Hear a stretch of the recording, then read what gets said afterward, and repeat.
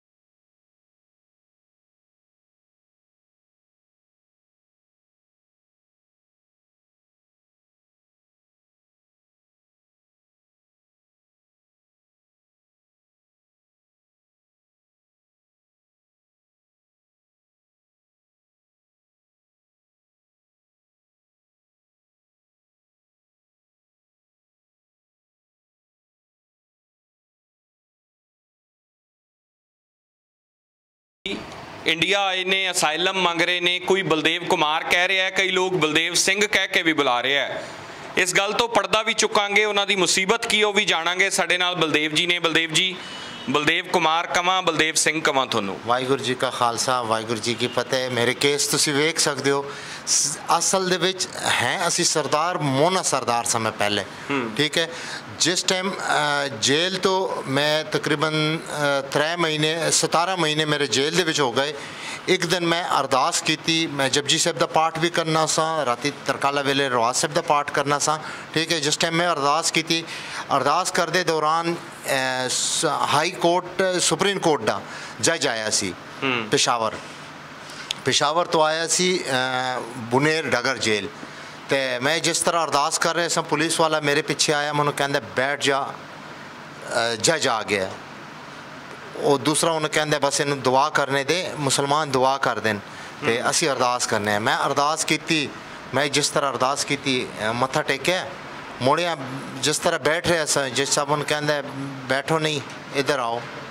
ਸਰਦਾਰ ਜੀ ਇੱਧਰ ਆਓ। ਉਸ ਟਾਈਮ ਮੇਰੀ ਛੋਟੀ ਜਿਹੀ ਜਿਸ ਤਰ੍ਹਾਂ ਕੇਸ ਸਨ ਤੇ ਮੈਂ ਸਿਰਫ ਸਿਰ ਤੇ ਰੁਮਾਲਾ ਬੱਧਾ ਸੀ। ਇਹ ਕਿੰਨੀ ਪੁਰਾਣੀ ਗੱਲ ਹੈ? ਇਹ 2017 ਦੀ ਗੱਲ ਹੈ। 17 ਦੀ ਗੱਲ ਹੈ। ਤੇ 17 ਤੁਹਾਡੀ ਉਮਰ ਕਿੰਨੀ ਹੋਊਗੀ?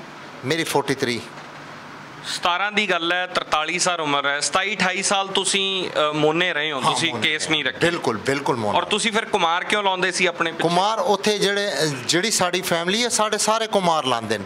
ਮੋਨਾ ਮੋਨਾ ਜਿਤਨੇ ਵੀ ਸਰਦਾਰ ਹਨ ਉੱਥੇ ਸਾਰੇ ਪੰਜਾ ਸਾਹਿਬ ਪਰ ਉੱਥੇ ਜਿਹੜੇ ਤਾਂ ਸਰਦਾਰ ਨੇ ਗੋਪਾਲ ਚਾਵਲੇ ਵਰਗੇ ਸਰਦਾਰ ਨੇ ਉਹ ਉਹ ਸਿੰਘ ਲਾਉਂਦੇ ਆਪਣੇ ਨਾਲ ਉਹ ਦਸਤਾਰ ਸ਼ੁਰੂ ਤੋਂ ਬੰਨਦੇ ਹਾਂ, ਆ। ਉਹਨਾਂ ਨੇ ਸ਼ੁਰੂ ਤੋਂ ਬੰਦੇ ਨੇ ਹੁਣ ਨਨਕਾਣਾ ਸਾਹਿਬ ਦੇ ਵਿੱਚ ਸਾਡੇ ਰਹਿੰਦੇ ਨੇ ਸਾਡੇ ਪਿਸ਼ਾ ਸਵਾਦ ਦੀ ਜਿਹੜੀ ਸੰਗਤ ਹੈ ਵੇਖ ਸਕਦੇ ਹੋ ਉਹਦੇ ਵਿੱਚ ਹੈ ਸਰਦਾਰ ਔਰ ਬਣੇ। ਪਾਸਪੋਰਟ ਤੇ ਹਿੰਦੂ ਲਿਖਿਆ ਹੈ ਜਾਂ ਸਿੱਖ ਲਿਖਿਆ ਹੋਇਆ ਸਿੱਖ ਹੈ ਬਾਕਾਇਦਾ ਤੌਰ ਸਿੱਖ ਲਿਖਿਆ ਹੈ ਰਿਲੀਜਨ ਸਿੱਖ ਲਿਖਿਆ ਹੈ। ਸ਼ੁਰੂ ਤੋਂ ਜਦੋਂ ਪੁਰਾਣਾ ਵੀ ਤੁਹਾ- ਤੁਹਾਡਾ ਜਦੋਂ ਬਰਥ ਸਰਟੀਫਿਕੇਟ ਬਣਿਆ ਹੋ ਉਹਦੇ ਤੇ ਵੀ ਸਿੱਖ ਲਿਖਿਆ ਹੈ। ਸਰਟੀਫਿਕੇਟ ਵਿੱਚ ਵੀ ਸਿੱਖ ਹੈ ਕੁਮਾਰ ਕੁਮਾਰ ਉੱਥੇ ਇਸੇ ਵਾਸਤੇ ਅਤੇ ਸਾਡੇ ਜਿਹੜੇ ਵੱਡੇ ਰਹੇ ਉਹਨਾਂ ਨੇ ਉਸ ਟਾਈਮ ਦੇ ਉਹਨਾਂ ਨੇ ਕੇਸ ਨਹੀਂ ਛੋੜੇ। ਬਹਰਲ ਪੰਜਾ ਸਾਹਿਬ ਅਸੀਂ ਆਨਾ ਮੈਂ ਹਰ ਪੁਰਮਾਸ਼ੀ ਤੇ ਆਨਾ। ਤੇ ਜਿਤਨਾ ਵੱਖਰੀ ਗੱਲ ਹੈ। ਕੋਈ ਵੀ ਇਨਸਾਨ ਗੁਰਦੁਆਰਾ ਗੁਰੂ ਘਰ ਜਾ ਸਕਦਾ ਹੈ ਮੁਸਲਮਾਨ ਹਿੰਦੂ ਸਿੱਖ ਜਾ ਸਕਦਾ ਹੈ। ਪਰ ਸਵਾਲ ਇਹ ਉੱਠ ਰਿਹਾ ਇੱਥੇ ਇੱਥੇ ਇੰਡੀਆ 'ਚ ਪੰਜਾਬ ਘਰ ਦੇ ਵਿੱਚ ਖਾਸ ਤੌਰ ਤੇ ਤੁਹਾਡੇ ਤੇ ਸਵਾਲ ਉੱਠ ਰਿਹਾ ਤੁਸੀਂ ਇੱਥੇ ਆਏ ਹੋ ਸਾਡੇ ਦਿਲ ਖੁੱਲੇ ਨੇ। ਜੇ ਤੁਹਾਡੇ ਤੇ ਮੁਸੀਬਤ ਹੈ ਤਾਂ ਅਸੀਂ ਤੁਹਾਡੇ ਨਾਲ ਖੜੇ ਬਿਲਕੁਲ। ਪਰ ਸਵਾਲ ਇਹ ਉੱਠਦਾ ਹੈ ਕਿ ਲੋਕ ਕਹਿ ਰਹੇ ਆ ਕਿ ਪਹਿਲਾਂ ਜੋ ਸ਼ਖਸ ਮੋਨਾ ਸੀ ਜੋ ਕੁਮਾਰ ਸੀ ਹੁਣ ਇੱਕਦਮ ਉਹਨੇ ਆਪਦੇ ਕੇਸ ਕਿਉਂ ਰੱਖ ਲਏ? ਉਹ ਦਸਤਾਰ ਕਿਉਂ ਬੰਨਣ ਲੱਗ ਗਿਆ? ਮੈਂ ਦਸਤਾਰ ਮੈਂ ਗੁਰੂ ਗ੍ਰੰਥ ਸਾਹਿਬ ਤੇ ਸਹੁੰ ਖਾ ਕੇ ਚੁੱਕਣਾ ਕਿ ਨਾ ਮੈਂ ਕਿਸੇ ਖੌਫ ਤੇ ਨਾ ਮੇਰੇ ਤੇ ਕਿਸੇ ਨੇ ਜ਼ਬਰਦਸਤੀ ਬੱਧੀ ਹੈ। ਮੈਂ ਆਪਣੀ ਮਰਜ਼ੀ ਨਾਲ ਮਨੁ ਕੇਸਾਂ ਦੇ ਵਿੱਚ ਇੱਜ਼ਤ ਮਿਲੀ ਸੀ।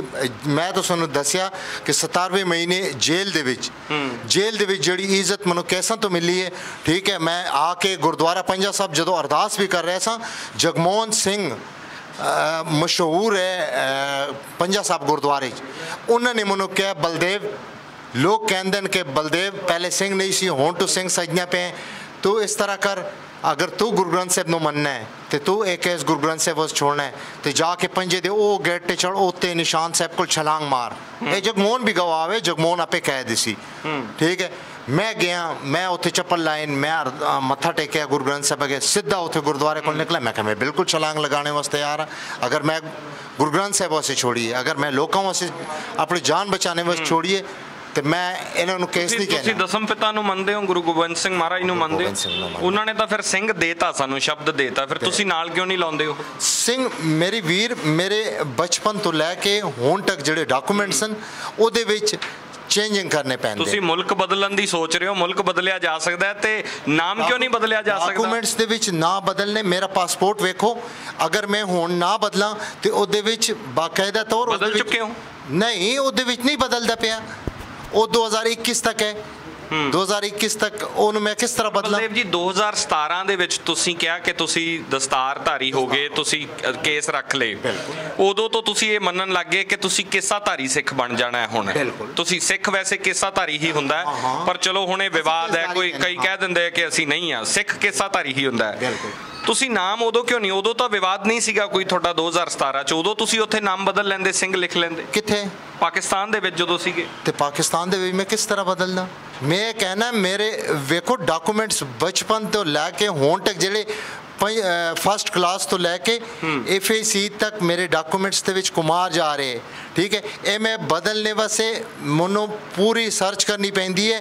ਮੈਂ ਬੋਰਡ ਜਾਸਾਂ ਮੈਂ ਸਕੂਲਾਂ ਰਿਹਾ ਜੇ ਜਾਸਾਂ ਮੁਲਕ ਬਦਲ ਬਦ- ਬਦਲ ਸਕਦੇ ਹੋ ਤੇ ਨਾਮ ਬਦਲਣ ਚ ਕੀ ਹਰਜ ਮੁਲਕ? ਬਦਲ ਮੇਰੀ ਬੱਚੀ ਬਿਮਾਰ ਹੈ ਥੈਲੀਸੀਮੀਆ ਦੀ ਪੇਸ਼ੈਂਟ ਹੈ। ਠੀਕ ਹੈ। ਇੱਥੇ ਇਲਾਜ ਹੋ ਰਿਹਾ ਉਹਦਾ? ਹਾਂ ਉਹ- ਉਹਦੇ ਇਲਾਜ ਮੈਂ ਉਹਦੇ ਇਲਾਜ ਦੇ ਕਰਕੇ ਇੱਥੇ ਆ ਗਿਆ।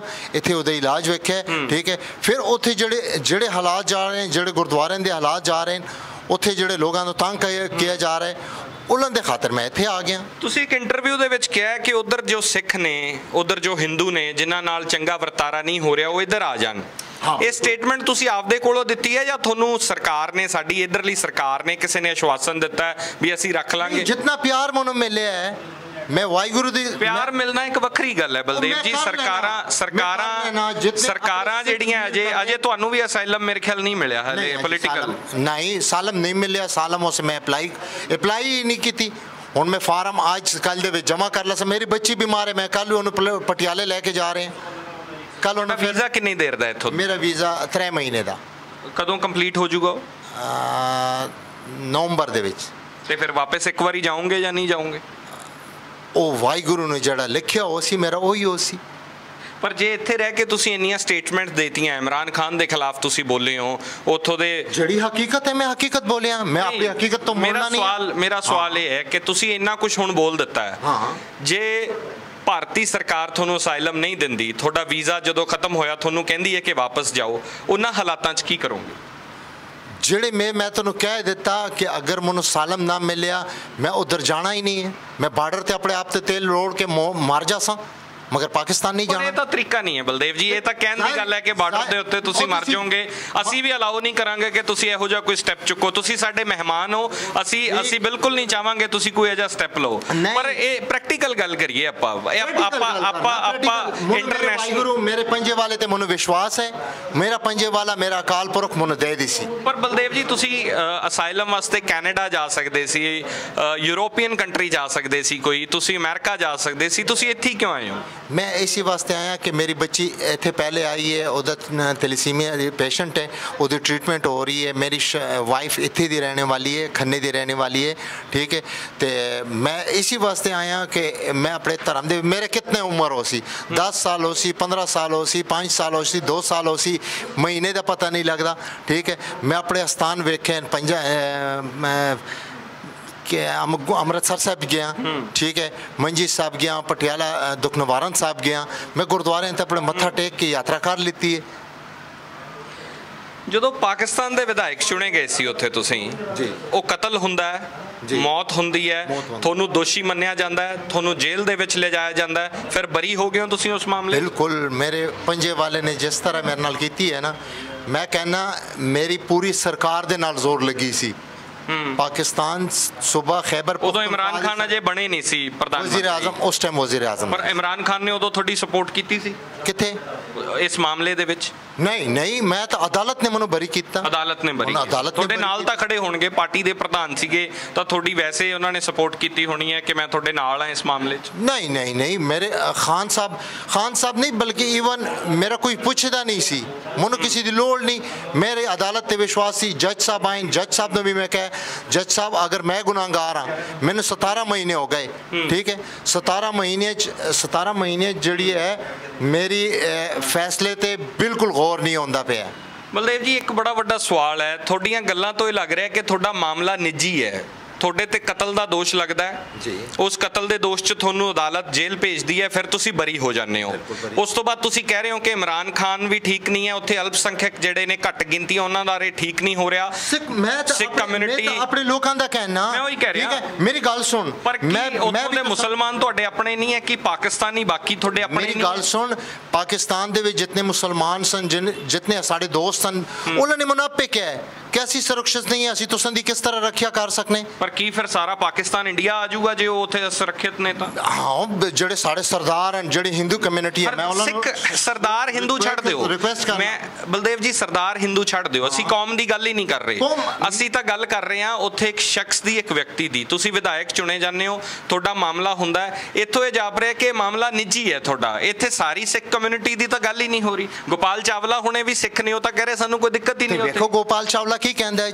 ਗੋਪਾਲ ਚਾਵਲਾ ਮੇਰੇ ਖਿਲਾਫ ਕੀ ਕਹਿੰਦਾ ਹੈ? ਉਹ ਵੀ ਵੇਖੋ ਉਹਨਾਂ ਦੀ ਸਟੇਟਮੈਂਟ ਉਹ ਆਪੇ ਕਹਿੰਦਾ ਹੈ ਕਿ ਬਲਦੇਵ ਕਹਿੰਦਾ ਸੀ ਕਿ ਮੈਂ ਖਾਲਿਸਤਾਨੀ ਬਣਨਾ ਮੇਰਾ ਦੋਸਤ ਸੀ ਮੈਂ ਵਾਹਿਗੁਰੂ ਨਾ ਕਰੇ ਕਿ ਮੈਂ ਇਸ ਤਰ੍ਹਾਂ ਲੋਕਾਂ ਨਾਲ ਤਾਲੁਕ ਰੱਖਿਆ ਹੋਵੇ हाँ गुरुद्वारे आए हैं गुरुद्वारे मिले हैं ठीक है मगर मैं किसी इसी तरह के ताल्लुक नहीं रखे उन्होंने अपने आप ते स्टेटमेंट दे रहे हैं कि ऐसी खालिस्तानी है खालिस्तान से काम ਤੁਸੀਂ कर रहे ਤੁਸੀਂ हैं ਖਾਲਿਸਤਾਨੀ ਨਹੀਂ ਹੋ ਤੁਸੀਂ ਖਾਲਿਸਤਾਨ ਦੀ ਪ੍ਰੋੜਤਾ ਨਹੀਂ ਕਰਦੇ ਹੱਕ 'ਚ ਨਹੀਂ ਨਾ ਮੈਂ ਹੱਕ ਸਿੱਖ ਧਰਮ ਦੇ ਹੱਕ ਤੇ ਵਿੱਚ ਹਾਂ ਠੀਕ ਹੈ ਸਿੱਖਾਂ ਨੂੰ ਅਗਰ ਜਿਹੜੀ ਚੀਜ਼ ਦੀ ਜ਼ਰੂਰਤ ਹੋਵੇ ਉਹ ਹੋਵੇ ਠੀਕ ਹੈ।